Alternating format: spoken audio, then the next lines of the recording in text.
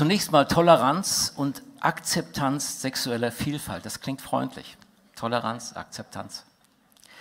Wenn man anschaut, Toleranz bedeutet eigentlich Duldsamkeit, das heißt gelten lassen fremder Überzeugungen und Handlungsweisen. Aber es bedeutet eben nicht, dass ich meine Überzeugung abgeben muss. Das heißt, der Tolerante behält seine Überzeugung, er lässt aber andere Überzeugungen stehen. Akzeptanz heißt, von akzeptere heißt für gutheißen, steht für positiven Zuspruch und drückt zustimmendes Werturteil aus. Wer akzeptiert, übernimmt die akzeptierte Überzeugung und gibt die eigene auf. Das heißt, dieser Ausspruch Toleranz und Akzeptanz ist vergiftet. Da haben wir es mit zwei völlig verschiedenen Sachen zu tun. Es geht sogar weiter. Die staatliche Verordnung von Akzeptanz wäre also eine Aufforderung zur Aufgabe meines Wertesystems. Und das Bundesverwaltungsgericht hat beschlossen, das Einfordern von Akzeptanz sexueller Vielfalt verstößt gegen das Indoktrinationsverbot. Das mal vorneweg. Und ich werde eigentlich den ganzen, diesen ganzen Referat durch einmal sagen, was ist eigentlich Gesetz und was wird gemacht. Abgesehen davon, die Frage ist natürlich, was genau sollen wir denn jetzt akzeptieren? Was ist denn unter dieser sexuellen Vielfalt zu verstehen? Und wie das auch in diesem Artikel in der FAZ stand, unter dem Deckmantel der sexuellen Vielfalt, es wird nach außen wird gesagt, es geht eigentlich nur um ein bisschen Geschlechtergerechtigkeit, aber darunter laufen ganz andere Dinge ab, die man sich kaum vorstellen kann. Das ganze System lebt eigentlich davon, dass die Menschen nicht wissen, was wirklich getan wird, von Verschleierung und von Täuschung. Das heißt, es wird zunächst mal, ich möchte schon sogar vorher anfangen, denn die Schulen oder die Kindergärten wurden ja mittlerweile Bildungseinrichtungen und damit in, unterstehen sie mit Bildungsplänen und sind eigentlich schon, im, wenn man so will, von der vom, von der Regierung übernommen worden. Das heißt, es, den Eltern wird suggeriert, ihr, das Säuglingsgehirn, dem würden irgendwelche Entwicklungschancen genommen, wenn es sich nicht in einer Kinderkrippe mit Frühförderungsprogramm aufhalten darf. Die ganze gesamte Bildungsforschung sagt das Gegenteil. Die Kinder zwischen ein und drei Jahren brauchen nicht Bildung, sondern sie brauchen Bindung. Und nicht gebundene Kinder können nicht gebildet werden. Und das sieht man auch ganz deutlich. Bundesländer mit den üppigsten Ganztags- und Krippenangebot haben die meisten Schulabbrecher. Und das Zweite ist, durch diese frühzeitige, gewollte, politisch gewollte Trennung der Eltern von den Kindern werden diese Kinder traumatisiert. Das heißt, diese fehlende Bindung zur Mutter wird jetzt von den Kindern im Grunde in irgendeiner Form ausgeglichen und so sagt Christa Mewis, aus diesem Blickpunkt ist es einsichtig, warum viele Heimkinder in frühester Kindheit onanieren. Sie haben keinen gesteigerten Geschlechtstrieb, sondern suchen einen Ersatz für die fehlende Mutter. Und genau hier setzen jetzt unsere Sozialpädagogen an. Manfred Berger leitet die Erzieher dazu an, die Onanie von Kindergartenkindern zu fördern. Oder es heißt in der Bundeszentrale für gesundheitliche Aufklärung, es ist ein Zeichen der gesunden Entwicklung eines Kindes, wenn es die Möglichkeit, sich selbst Lust und Befriedigung zu verschaffen, ausgiebig nutzt. Es heißt im Gesetz, Paragraph 100 hier im Schulgesetz von Baden-Württemberg, die schulische Sexualerziehung muss altersgemäß sein. Nach dieser Bundeszentrale für gesundheitliche Aufklärung heißt das Selbstbefriedigung zwischen 0 und 4 Jahren, Homosexualität zwischen 4 und 6 Jahren, Empfängnisverhütung zwischen 6 und 9 Jahren, Genderorientierung zwischen 9 und 12 Jahren und Sex zwischen 12 und 15 Jahren. Das ist die altersgemäße Sexualerziehung. In diesem gleichen Gesetz heißt es, die Familien- und Geschlechtererziehung soll das Bewusstsein für eine persönliche Intimsphäre entwickeln und fördern. Insbesondere ist das natürliche Schamgefühl der Kinder und Jugendlichen zu achten. Da heißt es dann in einem ein Buch, das Standardwerk sozusagen für Sexualpädagogik, Was ist Liebe? Zur Auswahl stehen unter anderem mindestens jeden zweiten Tag Sex haben, mit anderen ins Bett zu gehen oder Oralverkehr. Was halt so ansteht im Sexualleben eines Zwölfjährigen. So, die Süddeutsche Zeitung. Dazu gehört auch zur Veranschaulichung Plastikpenisse, Plüschvagina und Kondome, detaillierte Darstellung sexueller Handlungen und erzwungene Verbalisierung von sexuellen Vorgängen im Klassenverbund. Das bedeutet also jetzt Schamgefühl der Kinder zu achten. Und Christina Hennen von der Vereinigung deutscher Psychotherapeuten schreibt, eine solche Sexualpädagogik ist der Versuch, die Schamgrenzen von Kindern und Jugendlichen aufzubrechen. Und die Zerstörung der Scham bewirkt, so sagt das Sigmund Freud, bewirkt eine Enthemmung auf allen anderen Gebieten mit, verbunden mit Brutalität, Missachtung der Persönlichkeit und der Mitmenschen. Das heißt, hier wird systematisch werden die Kinder sexualisiert und es wird ihnen die Scham genommen. Dann heißt es weiter im Schulgesetz, die Familie- und Geschlechtererziehung soll das Bewusstsein für partnerschaftliches Verhalten, insbesondere in Ehe und Familie, entwickeln und fördern. In dem schon oft genannten Bundeszentralen, Bundeszentrale für gesundheitliche Aufklärung heißt es, alles, was Spaß macht, ist okay, wenn du nur richtig verhütest. Dass Verantwortung auch heißt, zu zweit und in Liebe für ein Kind zu sorgen, wird nicht vermittelt. Im Grunde ist es eine Erziehung zur Eheunfähigkeit, denn die Kinder müssen sich sagen, Schule bereitet mich darauf vor, Geschlechtsverkehr zu haben, das tun ja alle, aber mit jeder zerbrochenen Beziehung nimmt die Bereitschaft zur Bindung ab. Schließlich degeneriert der Sex zu einer rein körperlichen Befriedigung und die Jugendlichen sind eigentlich unfähig, Beziehungen einzugehen. Es heißt auch wieder in diesem Paragraph 100 des Schulgesetzes, die Erziehungsberechtigten sind zuvor über Ziel, Inhalt und Form der Geschlechtserziehung zu informieren. Das Standardwerk für diese Sozialpädagogik will durch Praxismethoden Kindern beibringen, wo der Penis sonst noch stecken könnte. Aufgeklärt wird auch über Oral- und Analverkehr, Spermaschlucken und einen neuen Puff für alle. Das sind einfach Zitate aus der FAZ bzw. aus der Süddeutschen Zeitung. Die Erziehungsberechtigten, die Eltern, sind zuvor über hierbei verwendeten Lehr- und Lernmittel zu informieren laut Schulgesetz. Und das sieht dann so aus, in der virtuellen Auktion sollen Gegenstände versteigert werden, unter anderem Kondome, Potenzmittel, Handschellen, Aktfotos, Vaginalkugeln oder Leder. Oder so sagt das Christian Weber von der Süddeutschen Zeitung, was sich 14-Jährige halt so noch von Oma und Opa zum Geburtstag wünschen. Es ist so absurd, ja. Eltern, so heißt es wieder im Schulgesetz, haben das Recht, unter Respektierung ihrer religiösen und philosophischen und pädagogischen Überzeugung erzogen und gelehrt zu werden. Drei Viertel der Mädchen und Jungen wachsen bei ihren Eltern auf. Regenbogenfamilien und Transsexuelle und was da so alles gibt, ist in meinem persönlichen Leben noch nie vorgekommen. Regenbogenfamilie schon, aber solche Sachen nicht. Das heißt, die sind eigentlich in dem normalen Leben gar nicht existent. Trotzdem sollen jetzt sozusagen die 14-Jährigen in einer virtuellen Auktion Gegenstände für sieben Parteien eines Mietshauses ersteigern, darunter ein schwules und ein lesbisches Paar mit zwei Kindern. Es sind alle möglichen Lebensgemeinschaften, aber eine Kleinfamilie mit Vater, Mutter und Kind kommt in diesem Haus nicht vor. Schülern wird vermittelt, dass ihre und die Lebensweise der großen Mehrheit veraltet und die Lebensweise von Minderheiten das Normale sind. Dann heißt es, die Geschlechtserziehung wird fächerübergreifend durchgeführt, auch Paragraph 100 Schulgesetz. Und das sieht dann so aus, im Mathebuch ist ein Haus eingezeichnet, in dem zwei Frauen wohnen, die bisexuell leben und ein Kind adoptiert haben. Dazu gibt es dann eine Textaufgabe. In dem Buch sind noch andere Häuser, viele Häuser aufgezeichnet, aber in keinem davon wohnen Vater, Mutter und Kinder. Es heißt im Schulgesetz weiter, Gesamt, der Gesamterziehungsplan der Eltern darf nicht unterlaufen werden. Eingesetzt werden heute freiberufliche Sexualpädagogen, die den Lehrer ersetzen. Der Lehrer sollte nach Möglichkeit den Raum verlassen. Ziel ist die übergreifende Darstellung der sexuellen Vielfalt. Nachdem jetzt in Medienberichten und Protesten von Lehrern und Eltern das Ganze ein bisschen ans Licht kam, heißt es jetzt in einer in der Zusammenfassung von Sexualpädagogen-Tagung äh, am 6. September in Kassel, also gerade vor, vor einigen Wochen. Jetzt will man die Ziele besser verschleiern und die gleichen Inhalte mundgerechter verkaufen. Und nochmal Ursula Enders, Verein für sexuellen Missbrauch, Sexualpädagogik der Vielfalt mit sexuell grenzverletzenden Methoden ist ein Etikettenschwindel. Alle Heranwachsenden durchlaufen eine sogenannte homoerotische Phase. Diese Freundschaften sind durch Sehnsucht nach Nähe und Anerkennung gekennzeichnet. Aber sie haben nichts mit Sexualität zu tun. Ich kann mich selber erinnern an so eine Phase. Diese Phase hat entwicklungspsychologisch die Funktion, sich der eigenen Geschlechtlichkeit gewiss zu werden, bevor man eine Beziehung mit dem anderen Geschlecht eingeht.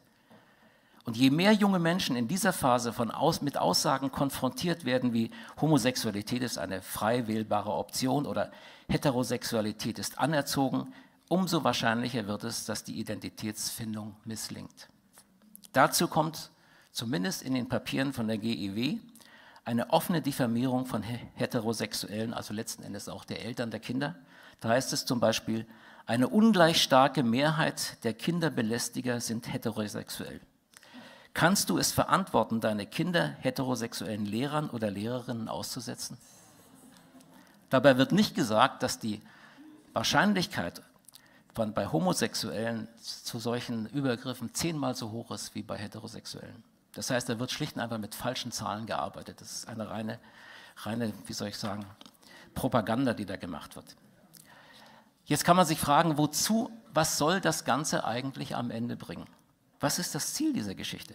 Bekannt wurde diese ganze Gender-Idee durch den berühmten Satz von Simone de Beauvoir, man wird nicht als Frau geboren, sondern man wird zur Frau gemacht. Und dann heißt es beim Ministerium für Arbeit, Sozialordnung und Familien in Baden-Württemberg, Gender umschreibt das soziale Geschlecht. Alle tradierten Geschlechtsbilder, in Klammern Gender, sind eine Rollenzuschreibung von außen, die häufig verinnerlicht wurde. Also im Grunde, das ist der einzige Satz, wo man mal herausfinden kann, ah, oi, das ist ja tatsächlich Gender da drin in dem Ding. Es geht nicht nur um Geschlechtergerechtigkeit. Das heißt, dass wir Männer oder Frauen sind, ist eine aufgezwungene Rollenzuschreibung von außen. Da muss man wissen, dass hinter diesem, sagen wir mal, hinter dieser Zuschreibung von irgendwelchen Geschlechtern ein bestimmtes Menschenbild steckt. Das ist ein materialistisches Menschenbild, was eben besonders von sozialistischen äh, Leuten vertreten wird. Wir, die Linken, glauben fest daran, so sagt das Jan Fleischhauer, dass alle Phänomene der menschlichen Existenz am Ende auf Erziehung beruhen, auf nichts, aber gar nichts anderem. Die Natur des Menschen ist es, keine zu haben. Das heißt, es ist ein weißes Blatt Papier, auf das ich jetzt schreiben kann, was ich will. Und 1972 formulierte Boris Frederick Skinner diese Theorie des Behaviorismus, in der, nach der eine vollständige Neuprogrammierung des Menschen denkbar ist. Das heißt, nach dieser Ideologie sind alle gesellschaftlichen Institutionen, Ehe, Familie, Geschlecht, Werte, Normen menschengemacht und damit konstruiert und können genauso gut wieder dekonstruiert werden. Und das Ziel, so sagt das Volker Zastro in seinem Buch Gender, das Ziel greift hoch hinaus. Es will nicht weniger als den neuen Menschen schaffen, und zwar durch Zerstörung der traditionellen Geschlechterrollen. Also es ist wieder eine Utopie, ein neues Paradies auf Erden, das man da schaffen möchte. Und diese, zu dieser Zerstörung der Geschlechterrollen gehört einfach auch die Zerstörung der Identität. Judith Butler, wenn man so will, die Chefideologin dieser Bewegung, hat in ihrem programmatischen Werk Gender Trouble, Feminism and the Subversion of Identity das Ziel eigentlich direkt vorgegeben, Subversion of Identity, Zerstörung der Identität. Und unsere Nina Degele aus, aus Freiburg, Professorin für Genderstudien, Sie schreibt, was verunsichert uns mehr, als uns nicht eindeutig als Mann oder Frau klassifizieren können. Und ich glaube, im Schwäbischen gibt es den Spruch, ich weiß nicht mehr, ob ich ein Männle oder Weible bin. Höchste Stufe der Verwirrung. Ja?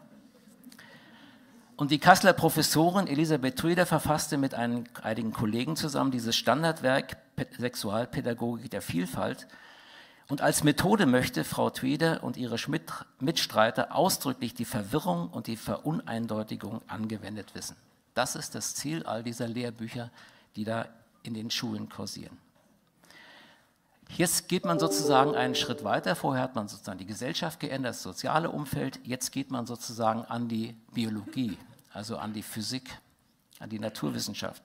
Ein kluger Kopf, ich mache dann Fragezeichen, heißt es auch in diesem, äh, aus diesem Schreiben vom Ministerium für Arbeit und Sozialordnung. Ein kluger Kopf hat mal gesagt, Biologie ist das, was man dafür hält. Die baden-württembergische Landesregierung, so sagt es die Wirtschaftswoche, will den Biologieunterricht in einen Fachverbund Naturphänomene und Technik aufgehen lassen. Offensichtlich wird der Versuch unternommen, einer Ideologie mit einem bestimmten Menschenbild den Weg zu ebnen. Und wenn man sich mal so die ganze Geistesgeschichte anschaut, da kam der Humanismus, Kant und Descartes, Emanzipation von Gott und seinen Normen, die nächste Stufe war der Sozialismus, Emanzipation von der sozialen Wirklichkeit, Rousseau und Marx. Und jetzt sind wir sozusagen an dem Punkt Emanzipation von der biologischen Wirklichkeit. Konstruktivismus, Foucault, de Beauvoir und Skinner. Das heißt, die Physik, die Biologie wird nicht mehr akzeptiert, sie muss dekonstruiert werden. Also wir fallen im Grunde wieder zurück in die vorwissenschaftliche Zeit, wo nicht mehr die Natur darüber entscheidet, ob eine Theorie stimmt, sondern eine Ideologie. Und Konrad Lorenz, einer der großen Kämpfer damals gegen diese ganze Geschichte, hat damals geschrieben in dem Buch Die acht Todsünden der zivilisierten Menschheit, der Irrglaube, dass man aus dem Menschen schlechterdings alles machen kann, liegt den vielen Todsünden zugrunde, welche die zivilisierte Menschheit gegen die Natur des Menschen begeht. Es muss übelste Auswirkungen haben, wenn eine weltumfassende Ideologie samt der sich daraus ergebenden Politik auf einer Lüge begründet ist. Es ist schon ein unglaublicher Vorgang, wenn man sich das mal vorstellt.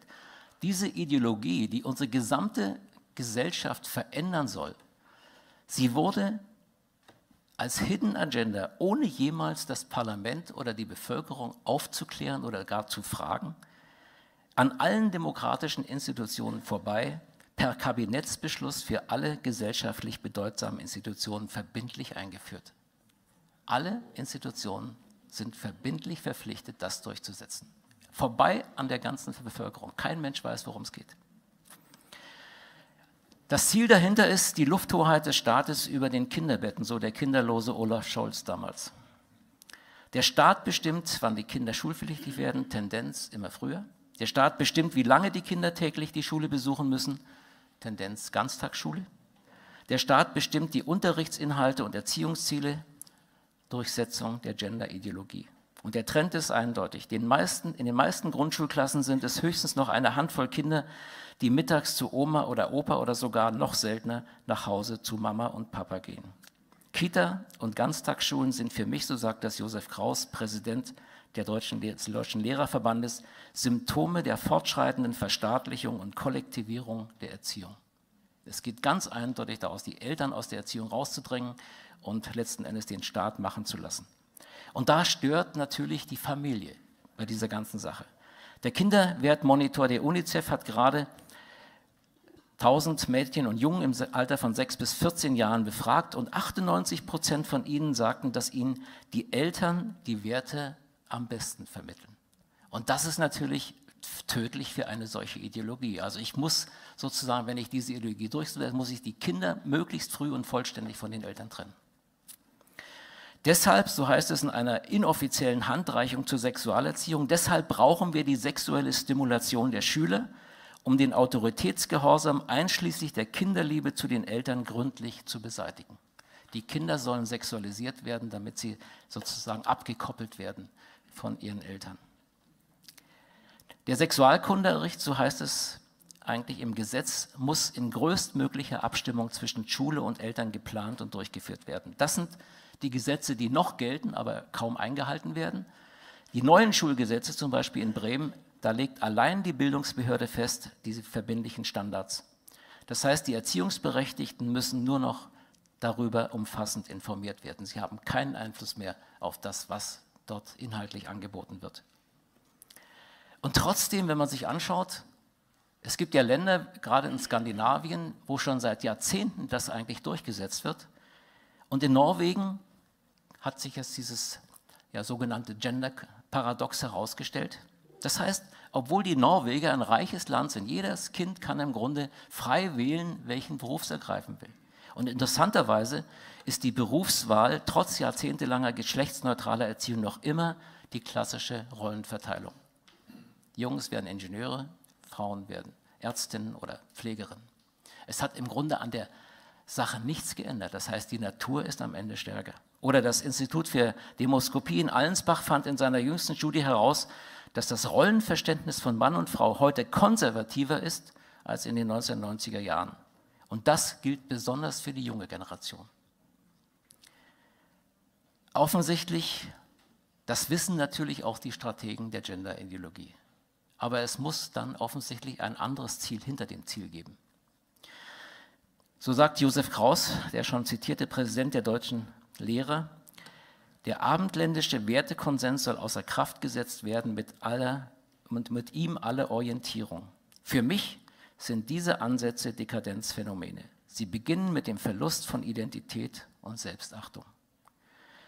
Das heißt, der seiner Identität beraubte Mensch wird beliebig lenkbar, abhängig, unmündig und führungsgläubig. Und ein Schwede, der das erlitten hat, der also sozusagen gegen ja, diese ganze Politik und auch gegen die, den gesellschaftlichen und finanziellen Druck, auf den er ausgesetzt war, seine Kinder zu Hause erzogen hat.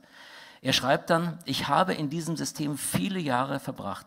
Ich habe dieses System unter allen möglichen Gesichtspunkten untersucht und kann keinen Gewinner dabei ausmachen als diesen.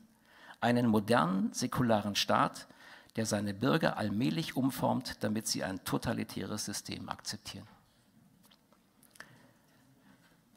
An dieser Stelle sind wir jetzt. Und ich glaube, wir haben noch eine Tür offen, zu sagen, jetzt ist Schluss damit.